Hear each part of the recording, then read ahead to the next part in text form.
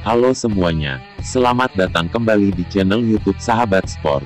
Khusus untuk Anda para penggemar Persib Bandung, kami akan memberikan informasi terbaru tentang Persib spesial untuk Anda. Tapi sebelum lanjut jangan lupa klik dulu tombol subscribe dan aktifkan juga tombol loncengnya. Like video ini jika kalian suka, dan serkan info ini ke seluruh penggemar Persib Bandung ke seluruh dunia. Mari kita bergabung dengan menyimak informasi berita terbaru dari klub sepak bola kesayangan kita di sini. Sang kapten skuad Persib Bandung, Supardi Nasir pada hari ini, Rabu, tanggal 7 April tahun 2021, dikabarkan kembali mengikuti latihan Persib Bandung di Stadion Gelora Bandung Lautan Api, GBLA.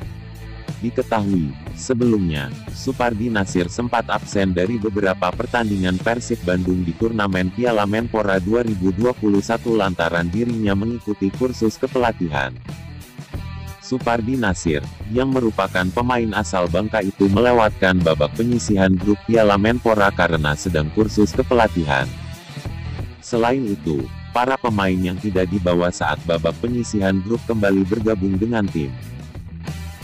Tidak hanya Supardi, pemain yang lain yang nampak pada latihan pagi ini yakni Gian Zola, pemain jebolan di klub Persib tersebut terlihat telah terus menjadi pulih seusai naik ke meja pembedahan. Zola sendiri benar masih berlatih terpisah.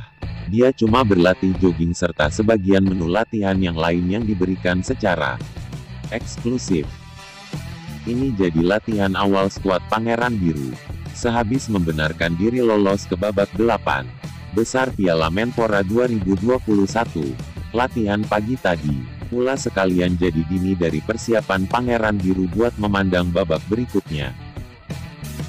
Pemain seperti Puja Abdillah, Indra Mustafa, dan Akil Safik ikut bergabung. Persik sendiri sampai saat ini masih menunggu lawan yang akan dihadapi pada babak delapan besar Piala Menpora. Lawan Maung Bandung baru akan ketahuan.